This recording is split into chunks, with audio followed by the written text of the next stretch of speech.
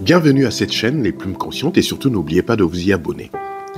On dit souvent que la lecture permet de connaître d'autres expériences, d'autres humanités. Mais la connaissance d'êtres de papier vaut-elle celle des êtres de chair et de sang qui nous entourent?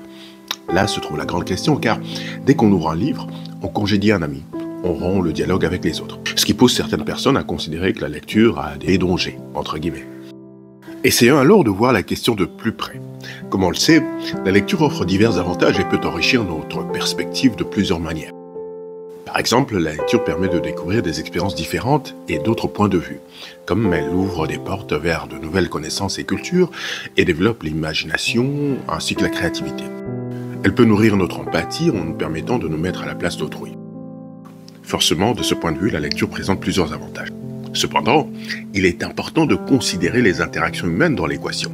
Oui, parce que les interactions avec les êtres de chair et de sang offrent des expériences authentiques et des liens émotionnels uniques que n'offre pas le livre, par exemple. Ils permettent des échanges immédiats et des interactions sociales qui sont essentielles pour le bien-être mental et émotionnel. L'interaction avec les êtres de chair et de sang apporte un soutien, des conseils et des perspectives réelles provenant d'individus vivants. Ils offrent également la possibilité de partage des expériences réelles et de créer des liens intimes. En résumé, la lecture et l'interaction avec les êtres réels sont complémentaires et peuvent chacune apporter une valeur significative à notre vie. Il est donc important de trouver un équilibre entre les deux pour bénéficier pleinement de ce que chaque expérience a à offrir. N'oubliez pas de vous abonner à notre chaîne pour ne rien rater de nos futures publications. À très bientôt.